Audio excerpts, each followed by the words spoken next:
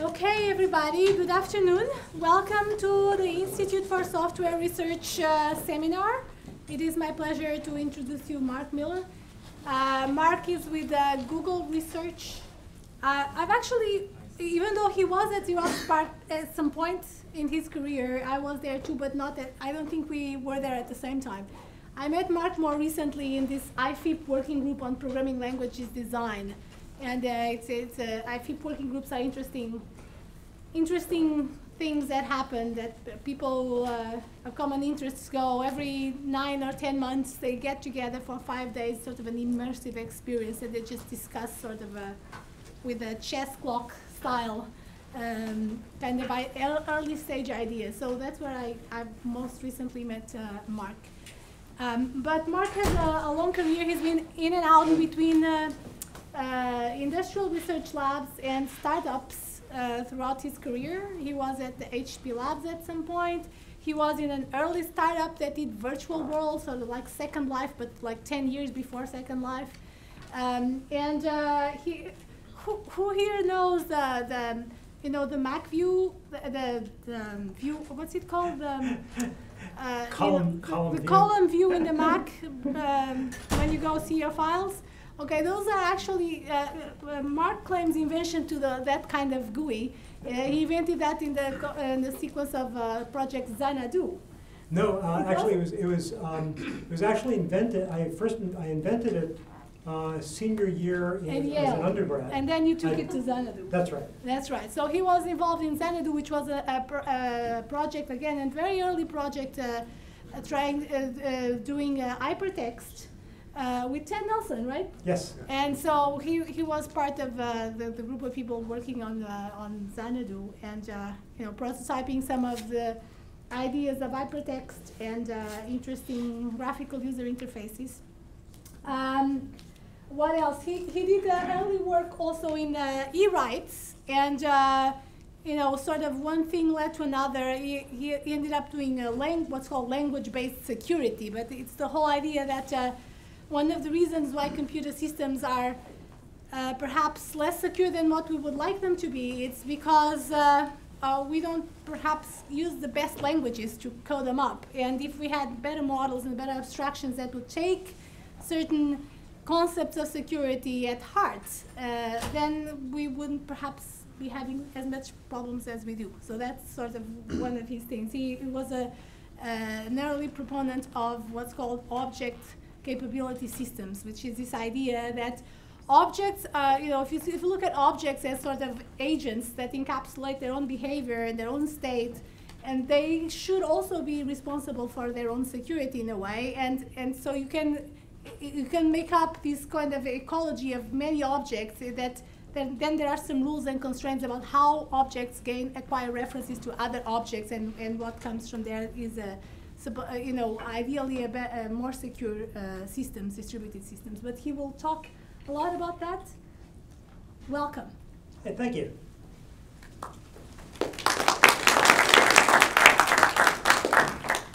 Okay, today I'm going to tell you about what we have come to call the elements of decision alignment. Uh, this is an interdisciplinary collaboration where my focus is on computer science, but with a long-standing interest in economics, and Bill's focus is on economics with a long-standing interest in computer science. We motivate the whole talk with this simple question.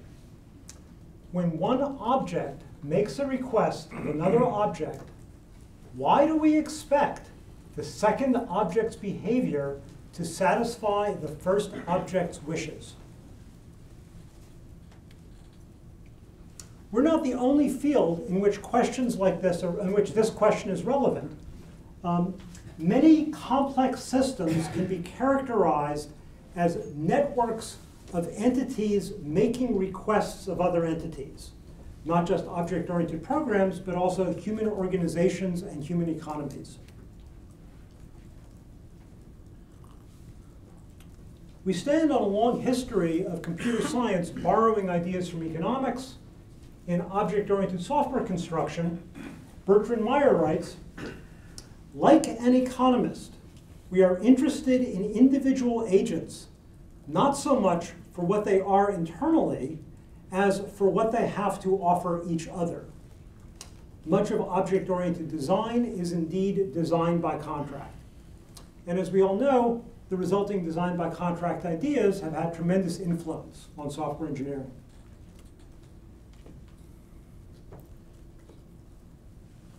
So I'm going to start off talking about the making of requests, and then how is it that the entities involved in this request making align their decisions with each other, and then what trade-offs do they face in bringing about this alignment. And then I'll be revisiting this in terms of the division and composition of knowledge in networks of such request-making entities.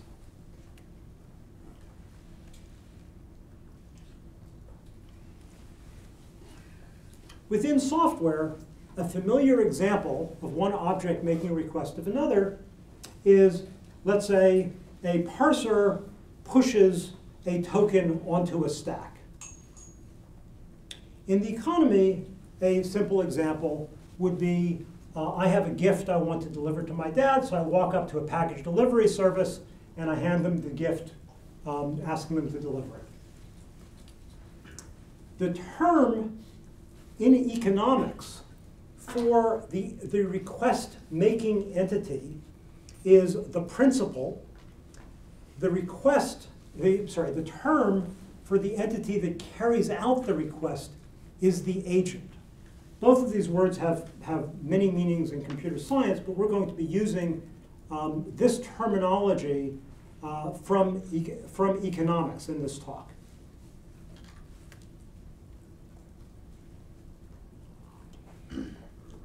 When both principal and agent are humans, these, these interactions are studied by economics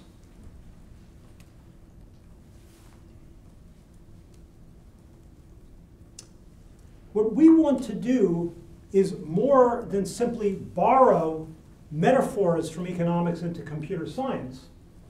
Rather, we need to recognize that we're already in a mixed network of request making, where humans make requests of objects through user interfaces, objects make requests of other objects, both within programs and across distributed systems, and objects make requests of humans. Think workflow systems or the interface seen by an Uber driver. So these networks of request making are rapidly shifting and changing. And in the modern economy, which role is filled by human versus object also rapidly shifts and changes over time. So what we seek, what we need, is a way to reason about these overall networks in an abstract enough way as to, um, as to transcend the differences between the human and object world and to understand uh, their dynamics as a whole.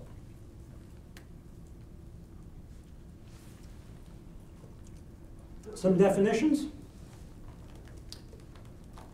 As we said, in economics, a principal is the one that sends the request. The agent is the one that reacts to the request. In economics, the term incentive alignment is when a principal, normally implicitly assumed to be human, or agent uses incentives to induce the other's intentions to align with their own. So this would be, for example, an employment contract where an employer, where an employer pays an employee to do uh, work that, the, that serves the interest of the company. By align, we mean to compose well without interference. We coined the term decision alignment as a generalization of incentive alignment. Decision alignment is when a principal or agent uses various tools to make it more likely for the other's decisions and actions to align with their own.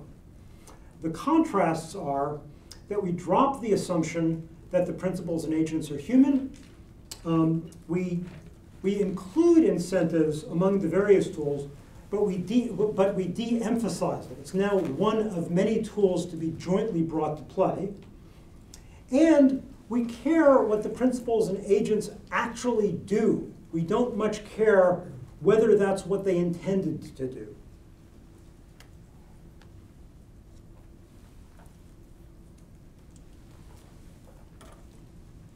In economics, the analysis looks from both the principals and the agent's point of view symmetrically. It analyzes the relationship from both sides. And, and it's important that it be analyzed from both sides. We certainly agree with that.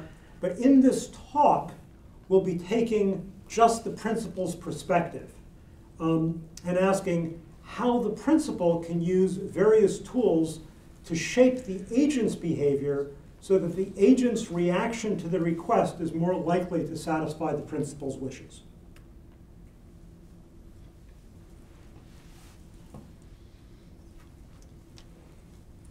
From computer science,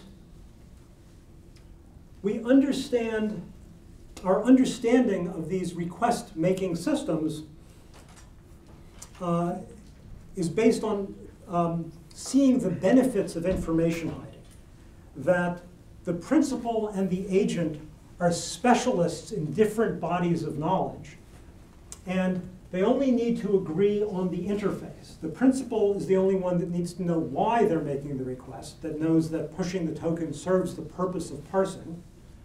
Only the agent needs to know how to carry out the request. And these specialists only have the burden of also encoding the com common knowledge, the shared knowledge they need to have, is only that needed to formulate requests that are meaningful to both parties. And by formulating such abstract interfaces, we minimize cascading changes through a system. Economics also reasons about the information hiding between principal and agent but they're mostly focusing on the hazards that come from, uh, from this information hiding. Uh, the principal worries ahead of time, can the agent that I'm about to make the request of do what I want it to do? Once the request is made, will the agent try to do what I want it to do? And then once the request is made and the agent is active, is the agent doing what I wanted it to do? So in economics, this is analyzed in, in what's called the, the as the principal agent problem. And they divide it into these three phases. Uh, in the pre-phase, the hidden information has, is, is what's called hidden characteristics. Things that the principal doesn't know about the agent itself. Is it able to carry out the request? Uh, in the post phase, the hidden information is what is it that the agent is doing or has done? What actions has it performed? Uh, because they're focused on economics, the hazards take particular forms in, in the economics literature. Since we're de-emphasizing economics, we also de-emphasize those particular hazards. But this overall framework is still uh, uh, just as useful for us. In economics, the focus is also on intentional misbehavior, what the agents intend to do. We're more, in computer science, we're also sometimes focused on intentional misbehavior, for example, computer security, but more often on, on accidental misbehavior, on bugs, where it's not a question of mismatch of intention, it's a, it's a question of just miscoordination.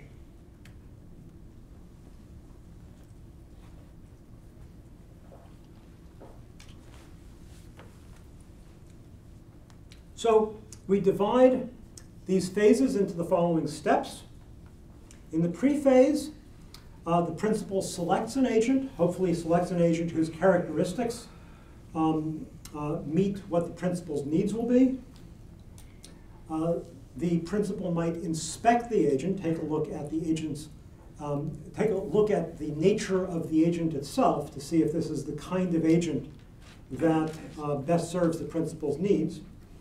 Um, then there's the request itself, which is often uh, formulated as a contract, uh, which allows the agent some scope of action in order to carry out the request, explains the request, explains what the principal wants the agent to do, uh, and also arranges to reward the, um, the agent for carrying out the request, such as by payment, um, uh, providing the agent an incentive to do so. In post phase, the issue is monitoring, instrumentation of various kinds, to see what the agent is doing or has done, uh, where the information from the monitoring feeds back to guide the selection behavior of this and other principals, the future selection behavior. We rearrange this diagram uh, as follows to emphasize that these steps occur into a loop and to focus on the steps. The arbiter, our order here is somewhat arbitrary. Pre comes before post. Pre comes before request comes before post, uh, but the order within them will vary from case to case.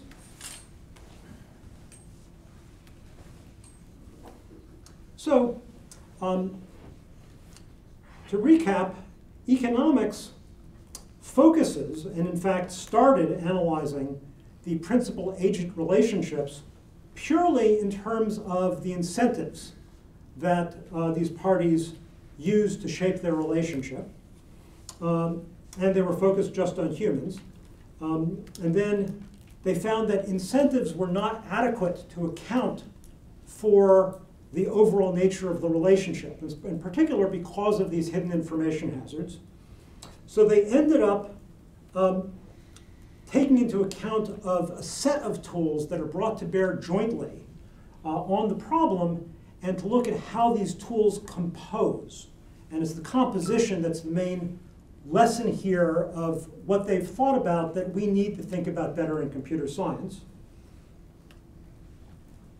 What we're doing in our work is generalizing this from the human world to the object world and to the user interface world where the human world and the object world meet. And in so generalizing, we're de-emphasizing incentives, just considering it to be one of several tools to compose to jointly bring to bear.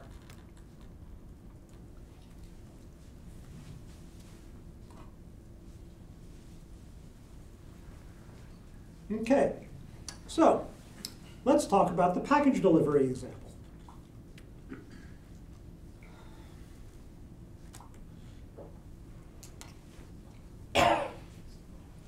So when I want to deliver a gift to my dad, send a gift to my dad, I walk up, I have to first of all select a package delivery business. And this can be based on reputation, it can also be based on fit. Uh, if my dad's birthday is tomorrow, perhaps I need to select a package delivery service that offers overnight delivery.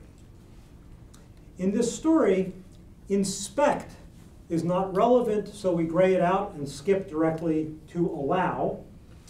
Um, in order to enable the package delivery service to deliver the package, I have to give them the package. I walk up and I actually hand the package over to them. That enables them to further move the package. I explain to them what I want to do with it, where to deliver it, any other delivery instructions, and I pay them, providing them an incentive to carry out my request. And at that point, the agent is reacting. They have the package, it's literally out of my hands. Am I left only being able to hope and pray? Well, no.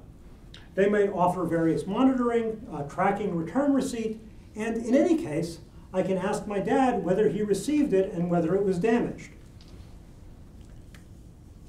And all the information I get from monitoring, I can feed back to guide the selection through reputation systems, to guide the selection decisions of both myself and other future principals.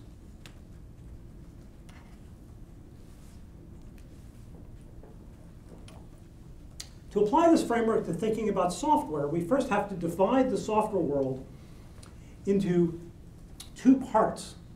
There's the static world, where the principals and agents of interest are developers and the code itself, the source code.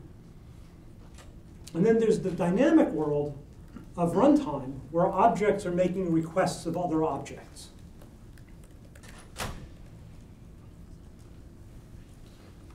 And for normal internal software development within an organization, incentives are not important in the dynamics of object computation.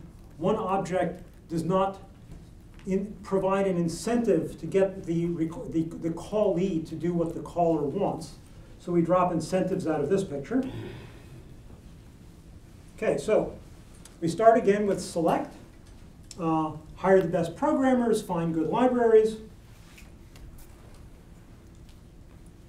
We then, in software engineering, spend an extraordinary amount of effort on the inspect phase uh, with code reviews, with static checking tools, etc. And then on the allow phase, we, uh, we provide the software with some authority. We allow it to take a certain range of actions to cause a certain range of requests. And the typical practice today is that programs run with all of their users' authority. Everything that the user is allowed to do, any program that they run can do. That is why the square root function in your math library is allowed by your system to delete all of your files. The object capability approach provides an interesting alternative that starts by shifting the static dynamic uh, boundary to allow actions on a per request basis. Uh, and this has a direct analog in the package delivery story. When I walk up to the package delivery service, I don't allow it ahead of time to deliver any possible package I may ever ask it to deliver. I hand them the particular package that I want to deliver now. Uh, that's allowing actions on a per request basis.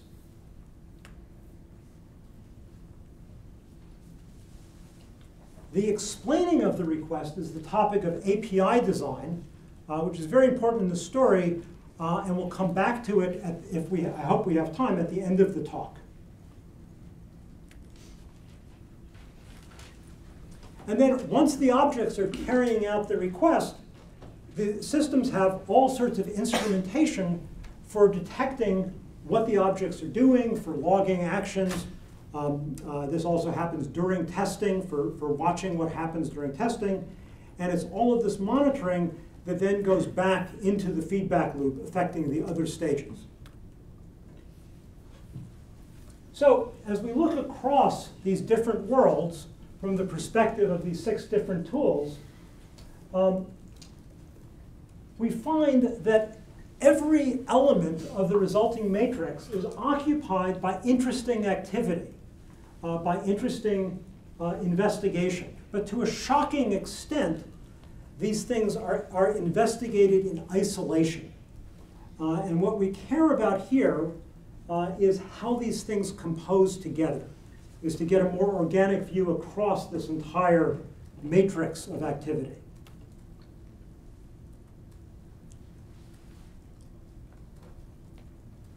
And to do so, we'll use the metaphor of the audio mixing board. In an audio mixing board, every slider can be positioned independently of every other slider. But only some arrangements of the sliders sound good.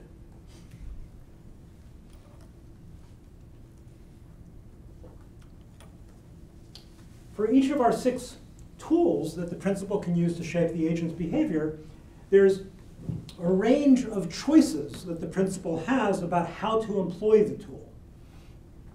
On the selection, you can have a system that's more open entry, that's more open to um, uh, uh, possible agents offering their services, provides more competition, or it can be more gated, where you have stricter admission controls, uh, so that uh, principals selecting from a narrower pool of candidates know that they're selecting from candidates who've been vetted by, already vetted by some criteria. Inspecting internals can range from uh, code review all the way to full machine check verification. Uh, allowing actions can be broad, as is a necessary consequence of allowing them statically. And then they can go all the way to least authority, which is an important term from computer security. Allowing an agent least authority is allowing them just precisely enough authority to carry out what we're asking them to do, for them to properly discharge their duties and no more. By limiting their authority, we also limit their potential for, for, for abuse, for, for engaging in actions that harm the principal. The requests can be more informal, can, be, um, can depend on uh, unstated specifications, background knowledge, or it can be more formally specified.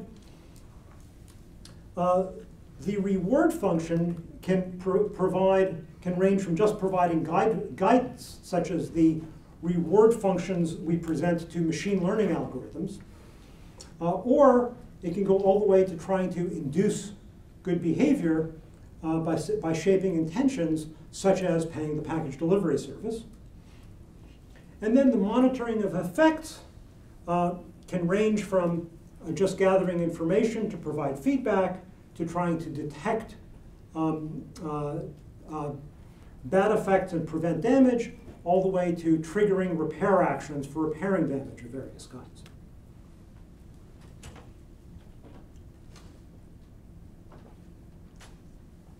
So when we set these sliders in ways that seem representative of the package delivery example, uh, these, this is what we come up with. Uh, it's more open entry. Anybody's free to offer their services as a package delivery business, and I, as a customer, am free to select any of them. Um, and as we've seen, the authority I provide them is very little, is, is just the, I, I just enable them to deal with the one package that I hand them and nothing else.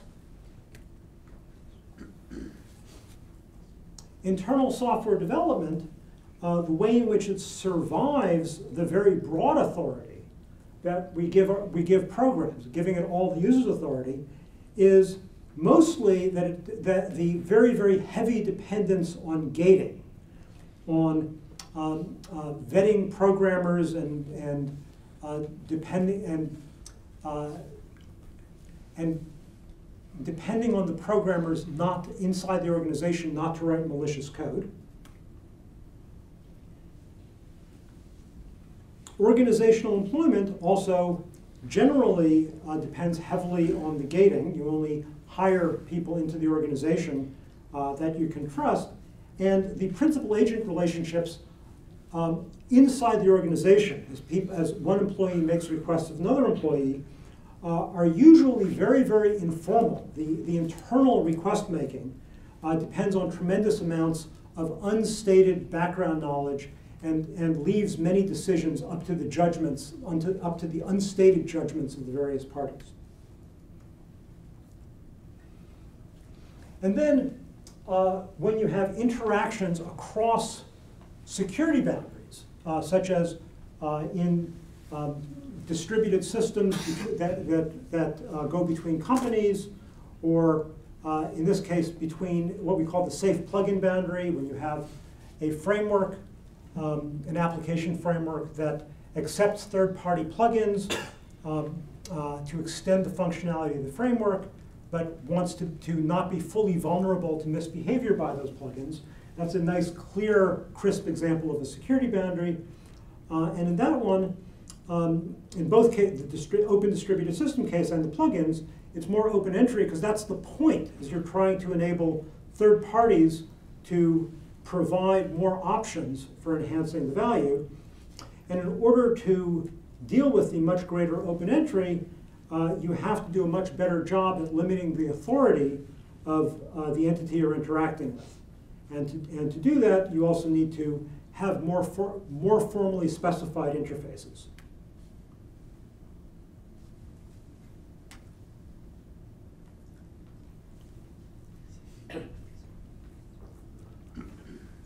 Bitcoin and Ethereum form a particularly interesting example where the open entry slider is pushed to the absolute extreme. Uh, these are what's called permissionless systems. Uh, no, every, anybody is, is able to participate.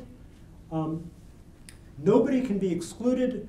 Uh, people can so the, they're called permissionless because nobody needs to ask anybody's permission to be admitted or even to continue to participate. Nobody can be excluded even for demonstrated bad behavior.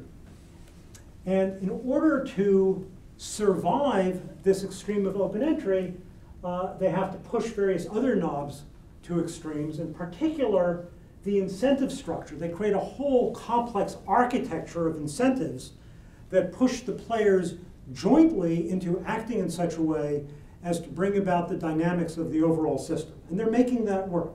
It's really rather amazing. But it doesn't always go well. Um, uh, Ethereum had a very famous, uh, um, uh, it wasn't a flaw in Ethereum itself, it was a flaw in a major contract, a very simple piece of code that somebody wrote as a smart contract on Ethereum. Uh, uh, that code had been subject to, to code review, but nobody caught a particular kind of bug that once it was deployed uh, caused um, something like $60 million to drain out of the system.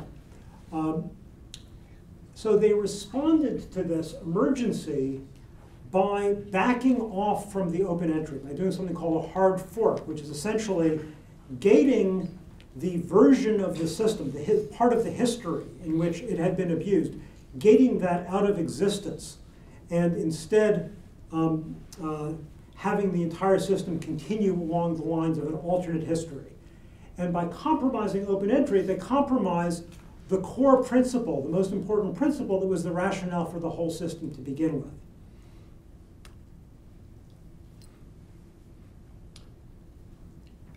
When you have over $100 million riding on a simple piece of code, you would like more effort on machine check verification before, that, before you deploy such a thing and end up with that large a bet on it. Um, and hopefully, more attention to such things to raise our confidence um, will allow us to reliably get back to full open entry permissionless systems.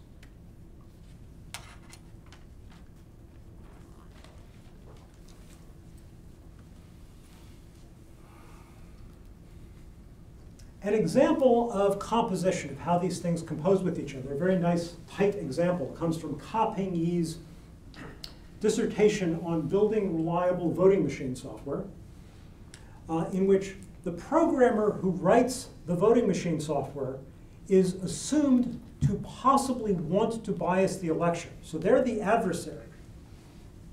The principal is, in some sense, society as a whole or their political representatives who want to ensure that the voting machines are honest, even though the author of the voting machine software may have been dishonest. So in Ping's thesis, uh, what he did was he also imposed this requirement that if the voting machine software does not seem to obviously be correct, that the inspectors can um, reject it, that the, that the voting machine has to not only not be um, detectably incorrect, it has to be so obviously correct that we can be confident that it, that it actually is correct. And what Ping did is he created a voting machine framework such that the voting machine logic was 400 lines. This is, this is real. 400 lines of simple code in a very simple first order language. And in his thesis, he writes extensive rationale documenting every line of code. And the hope was that this was all simple enough that a set of reviewers uh, by inspecting it, um, uh, could arrive at reliable confidence uh, that the thing did what it said it did. So to test this, to test this, uh, what Ping did was he inserted three bugs into the software that were carefully crafted to avoid detection. And then he assembled a set of expert reviewers, including myself, uh, to spend days, many days, um, I'm sorry, not many, three I think, Um, uh, it's all written up in the thesis. I don't quite remember the day count. Um, but we were basically immersed in this thing for, for days, trying to spot the bugs. Um, and we failed. Um, uh, Ping unfortunately succeeded, to all of our surprise, at hiding the bugs. We detected two out of the three bugs. Um, uh, the third one could have remained undetected. It could have gone on to bias an election. Um,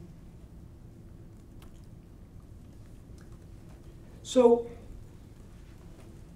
we know that code reviews are very effective at catching and detecting accidental bugs. That's why we use them. Um, but the lesson here is that maliciously constructed bugs, bugs that are constructed to evade detection, uh, that it's very easy to construct bugs that can evade intense review under the best possible conditions you could ask for. Um, and we've always known that it's possible to construct bugs that can evade black box testing. But there's also hope that comes out of this, which is that it seems to be much harder to, to create malicious bugs that evade, review, that evade detection by review and testing if they're brought together well. Uh, an example to explain, which I think due to limited time, I'm going to skip the explanation about why these things supplement each other. I'll, I'll actually just give the punchline here, which is if you craft a bug that is able to evade black box testing, the code that can evade the testing has to look weirder than the bugs that Ping successfully hid. There's no automatic criteria that, we can, that we've come up with for detecting that weirdness, but the weirdness will make it much easier for code reviews to spot it uh, if the overall system is, is one of these best cases for simple enough to detect the bugs. So, the overall lesson is that what's going on here is that any one of these tools used by itself, if you try to push it hard enough that it's enough to solve the whole problem, you often find that you, you encounter a prohibitive part of the cost curve. But if you consider backing off from enough, you're not enough. You're, you've made a compromise. And we don't want to compromise on safety.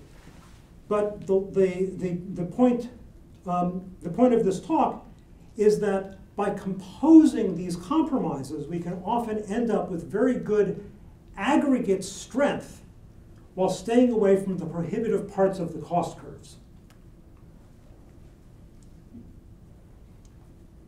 To do so successfully, these compromises need to be cross-bracing.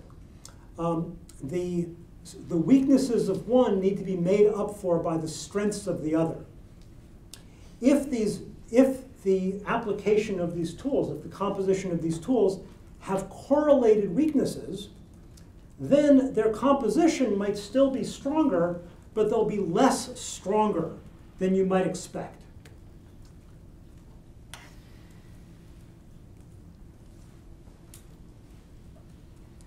Here's an example that will speak directly to my work on secure language design, but I'll explain it first in terms of package delivery. Um, so over here, the box represents all of the actions that, that the agent is allowed to do that might affect the principal. So every point in this box is a possible action that the agent might choose to do. So this is what the box looks like if we set authority all the way on the left at, at broad. This circle represents the actions that the agent might take that would be of benefit to the principal. When I walk up to the package delivery service and I ask them to deliver the package, there's all sorts of things that, that the package delivery service might do that would be in my interests, but the one that I have in mind is for them to deliver a package. And if they do that, that's the one I'm prepared to pay them for. So if they deliver the package and I pay them, then they win and I win. This is to the agent's benefit and to the principal's benefit. On the other hand, they might damage, lose, or steal the package. And if they do any of those things, the principal gets harmed. Um, I, I lose, I, I, my dad doesn't get the package, and as far as the damage to me is concerned, it doesn't much matter whether they damaged, they damaged it, lost it, or stolen it. The package disappeared.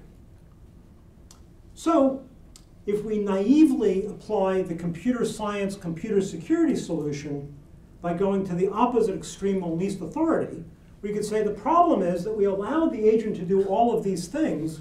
What we should do is allow it only to deliver the package. We should make it illegal for them to damage, lose, or steal the package.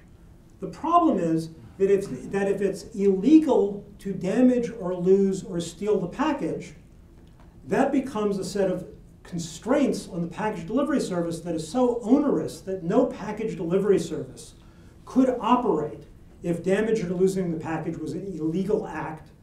Uh, and if they tried to operate, they would have to, to charge prices so exorbitant that nobody could afford to deliver a package. So, in order to escape this dilemma, we bring in incentives. We realize that there's a difference between damaging, losing, and stealing the package, which is there's a moral hazard on stealing the package, which is the agent might benefit. The agent has a reason to steal the package. Um, whereas if they damage or lose the package, they don't, it doesn't really affect them one way or the other. It affects me, it harms me, but it doesn't really affect them. So what we can do is we can provide not literally least authority, but narrow authority, where we allow them to damage or lose the package. The only things we have to make illegal, the only things we have to take off the board is the area of greatest danger where harm to me coincides with benefit to them. And then the remaining problem, getting them to deliver the package rather than lose it, we can solve with incentives. But not quite. There will always be the incompetent package delivery service that, despite the incentives, keeps damaging or losing packages. So we bring in a little bit of selectivity. We back off from open entry by use of reputation, uh, and a package delivery service that keeps damaging or losing packages gets a bad reputation, and the feedback results in people just not asking them to deliver more packages. So the analogy with language design, secure language design, um, uh, is that when one object makes a request of another, like in the, the plugin case, when a framework, an application framework, makes a request of an object that comes from a third-party plugin, the plugin might act in a malicious way to harm the framework. And we can divide these harms, as usual, into attacks on availability and a tax on integrity. And the interesting thing is that the attacks that are plausibly of benefit to most attackers would be attacks on integrity. And attacks on integrity causing bad effects are the ones that we can solve with, with normal software engineering techniques like object-oriented encapsulation beefed, beefed up into security mechanisms. Whereas in a, in a object-to-object language framework, trying to, to solve, completely prevent attacks on availability is something that it's very hard for a secure language framework to do. And fortunately, this analysis says we usually don't need to do it.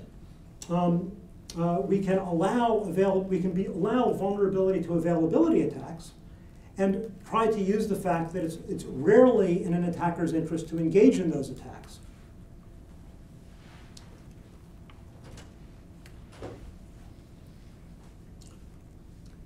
But again, only in a context where it's possible to engage in some selectivity, um, uh, where a plugin that repeatedly simply wedges its framework by going to infinite loops stops getting plugged in.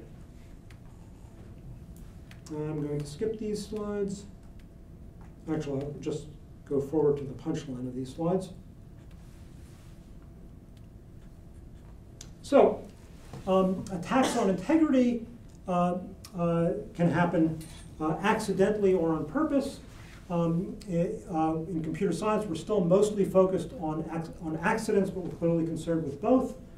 And there's effects um, uh, uh, to decouple effects, to try to separate things so that you have less danger of, of, of inadvertent interference, damaging interference. Um, we have various ways of separating effects in space and various ways in time, and we would argue that in both of the, and that they fall along the spectrum, and we would argue that in separating effects in space, that object capabilities forms a sweet spot, separating effects in time, preventing interleaving in concurrency that causes data races, et cetera, concurrency problems, that communicating event loops also forms a sweet spot. Okay. Very briefly on API design. Um, so, when one, in this request making relationship, um, the explanation can be on the informal side, when, such as a parser open coding the pushing of a token onto an array, uh, just open coding it in terms of the underlying array, um, or uh, if I happen to know that you'll be in the neighborhood of my father tomorrow, I might just hand this um, the package to you and say, you know, can you just drop this off with my dad when you're in the neighborhood? Uh, it can range from that to more formally specified, where we invent abstract, abstract ideas like the idea of a stack or the idea of a package delivery service. And the big advantage of the more formally specified, of inventing these concepts that are these named interfaces, is they allow a multiplicity. It allows um, uh, many people to uh, have, have all sorts of different reasons for wanting to deliver a package to use a common kind of service for doing so, and it allows the service to be provided in multiple ways. So this abstracts from both sides. It abstracts over the multiple means that the agent might use to accomplish. It abstracts over the multiple purposes, which is why an um, uh, a principal might want to do this. but it abstracts on both sides, we call that an abstraction boundary. And here's, in some sense, the punchline of the talk, uh, which is when we take a look at a range of examples in both the human world and the software world, and we set sliders that seem like the like representative settings for sort of the canonical examples of these activities, what we find is there's a set of common patterns that cut across the distinctions between humans and objects. We find some of the same emergent patterns and emergent contrasts between patterns. In the left column, we have the human world. In the right column, we have the object world. In the top row, we have both organizational employment and internal software development. Basically, the object-oriented world within what we think of as a single program developed within the organization, uh, in which case you, you dep depend heavily on gating. Um, the, the nature of these request-making networks is mostly a hierarchical topology. The relationships are very trusting, which is to say tremendous vulnerability of one object to another. Um, uh, and a lot of the, the relationships are more on the informal side. Uh, in businesses on the market or across security boundaries in software, especially in open distributed systems, uh, we find, first of all, obviously more open to um, more open entry, which is again the point. Um, the topology of the relationships tends to be more decentralized. The, the individual agents in the system don't have strong gating to count on. So instead, each one needs to be wary, needs to be more defensive about the possibility of misbehavior of who they're dealing with. And the relationships, being many to many, have to be more well specified and abstract. So to summarize, uh, we're already in a mixed world in which the roles played by humans and objects shift and change over time. So we want to find ways to reason about this that see the commonality between what's been studied separately as the human and object worlds.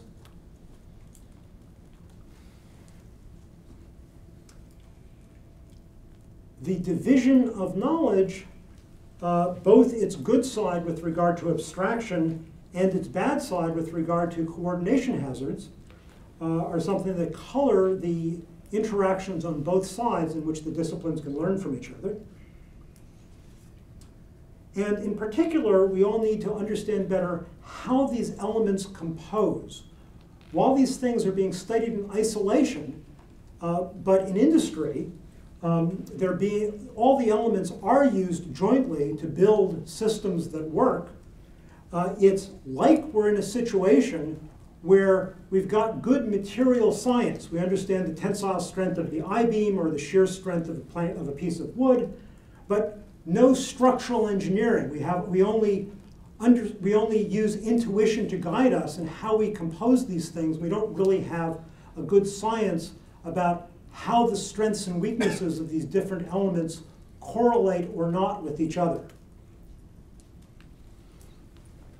And we need to understand the emergent properties of large networks of these request-making entities, both when things go right and when things go wrong. When, they, when things go right, we want to maximize the benefits of cooperation, and when things go wrong, we want to limit the damage.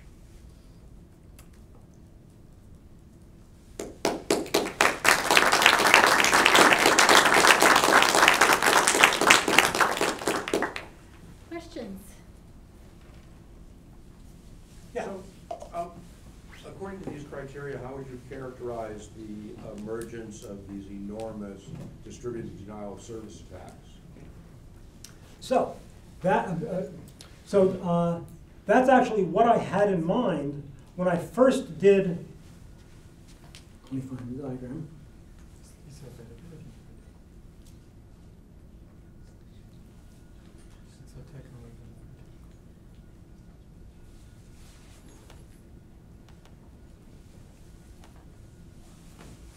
When I first did this, I thought, wait a second. We, we have a tremendous problem in computer security with regard to availability. Why is it that within a program, at, at trust boundaries within a program, I'm just being so blasé about availability? And the reason is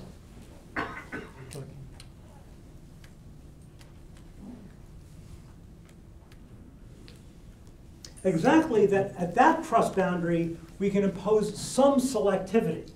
That we can say that if a, if a, if a plugin starts going into an infinite loop, de denying the CPU to the framework they called it, denying the CPU to its caller, then people just stop using it. Uh, on the open internet, the open internet is again, actually, in some sense, it's the first large-scale example of a truly permissionless system. Um, the uh, open internet is one where we don't have the option to engage in that selectivity. Uh, and, and that's why um, uh, the small number, the, the, it's still the case that, that, that attacks on availability are rarely of interest to anyone, but when you're talking about the world at large in an open entry permit, permissionless way, it's okay. I mean, it's, it's an adequate threat that a few people will find it of their interest for bragging rights because they benefit somehow purely from doing damage to another party, whatever. Um, uh, so you have to find another way to deal with the, you do have to address availability some other way if you can't address it by selectivity. Yeah. So uh, this is a really fascinating framework for thinking about, you know, security in general and interactions between requesting and requesters and stuff.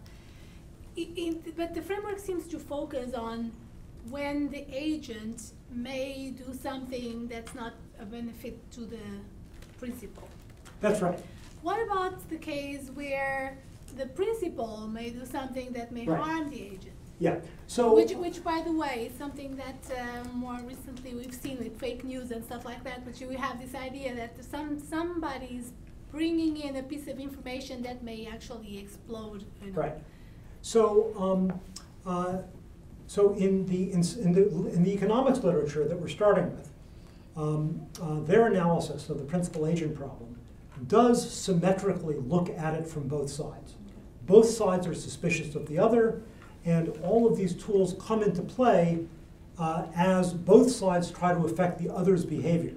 So in some sense, it's actually a better, you know, that image is better fit for the word alignment because they're both trying to shape each other's behavior and they, they sort of uh, come into, into alignment as both of them adjust.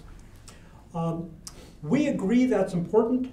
We think that this work pursued should pursue the issue symmetrically.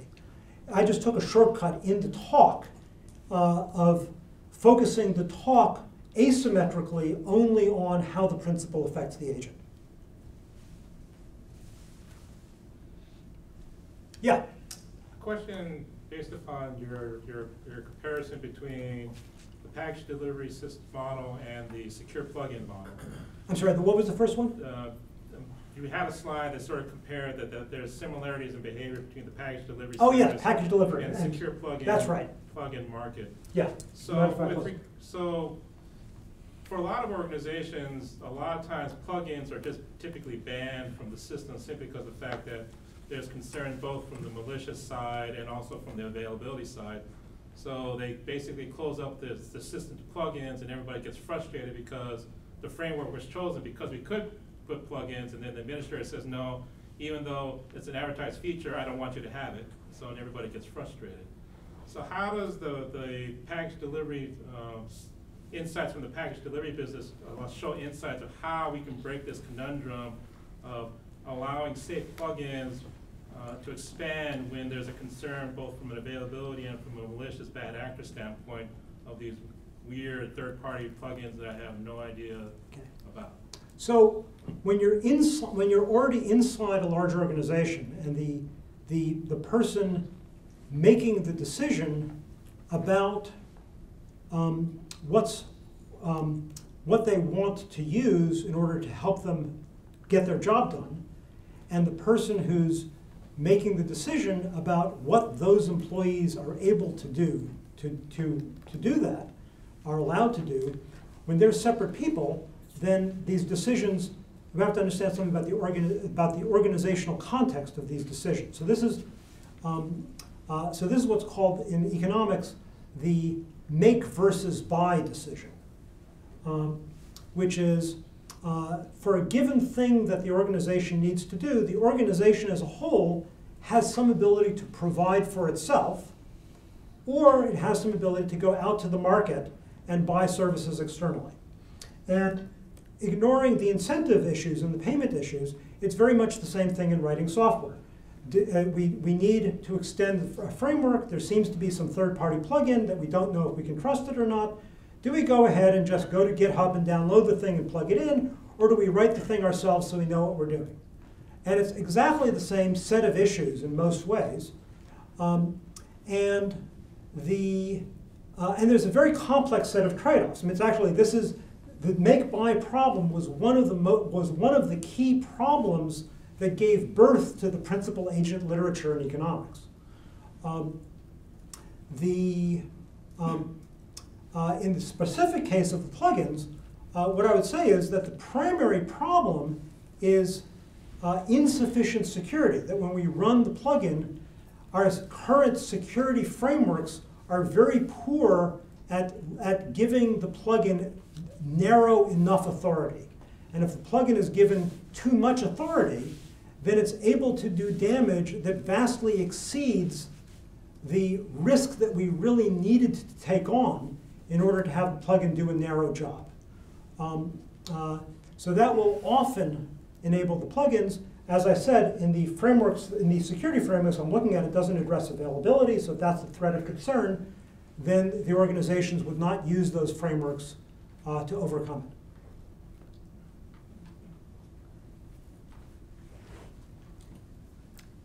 Questions? Yeah, Hi, um, I was wondering if you could say a little bit more about the difference between guide and induce. I didn't know if you could maybe give some like concrete examples for me to like, I don't know, I'm just having a little bit of trouble wrapping my head around that. okay. So, um, so first of all, some of the things they have in common, um, before we get to their differences, uh, is that the guidance that the agent um, is reacting to, this, this, um, uh, this landscape of differential prices, this of differential reward for different actions, um, is not generally something that's shaped only by the individual principal making the current request. Uh, one of the things that's very interesting about the rewa- reward, um, the reward functions that the agent is responding to is it's often best understood as a reward function that's aggregated over the, um, the behaviors of, of many different principals. So what the agent learns to do to adapt well to the behavior of some, some population of principals helps it already be adapted well to a new principal that it hasn't even encountered before, or for whom it has a very too small a, a, um, a corpus of requests to learn from. Um, so uh, the, now the, the difference is on the um, on the guidance side, you would say that uh, the things that it's learning is not differential payment. It's not learning from differential payment. It's just um, uh, you construct a reward function that's just a hill climbing thing uh, so that you can apply these various machine learning hill climbing algorithms to find better points. So now, uh, so uh, whereas, um, so the, the, so you don't have to attribute intentionality. It's a completely non-teleological uh, way of, of looking at what's going on with the reward functions. Uh, whereas with um, uh, inducing good behavior, induce is itself an, a teleological term. It's one that, that presumes that there's a separation of interests and that you're trying to appeal to the agent's sense of what its interests are. Uh, and conflict of interests will come up uh, as an explicit topic in induce, where they might be able to get to, to gain the payment while misbehaving, which is also true in reward, but we generally don't consider it to be malice in reward. We just consider it to be a misconstructed reward function such that pathological behavior is what was learned instead of what was intended. Now, another thing that's very important that they have in common is the they're both able to, to aggregate over inarticulate commonalities of the request from the principals. This goes back to the nature of the, this goes back to the formal versus informal nature of the request. Is um, a lot of the reason why we use machine learning is that there are things that we want that we don't know that we want. Uh, and by having the reward function constructed from our activity, it can help the agent satisfy our desires of ours that we didn't know to ask for. And likewise, the composition of incentives uh, jointly from the multiple customers of a business can help the business serve jointly needs of the customer population as a whole that none of the customers would have ever known to ask for. One last question. Okay, um, this is more a general question based upon your, your discovery about the bugs, you know, testing versus code review. Just from a, uh, asking you to extrapolate to the future, based upon what happened with the, the Volkswagen emission control software issue where the defect was, was found basically by doing a code, not by a, a testing review, right, an independent testing review, right. rather than code review. Do you anticipate when we go to autonomous software for vehicles, will it, do you anticipate society will demand a- a combination of code review and independent testing, or will we just still be relying on independent testing for things like autonomous software, uh, code, autonomous driven vehicles? software? So that's, that's actually why I, I focused in on uh, Ping's voting machine software, is it's really the best case for gaining confidence, and we still failed to gain confidence. Uh, but we learned some things about how we could do better by composition. Um, uh, and the, know, having honest voting machines is one of the most important um, assurances we would like to have. So it's, a, it's, it's, it's, it's also a nice example in focusing attention on a problem that is both, both seems like it's simple enough to be solvable and is clearly important enough to be worth tremendous effort to solve it. And I'll, I'll just, I'll just leave the answer at that.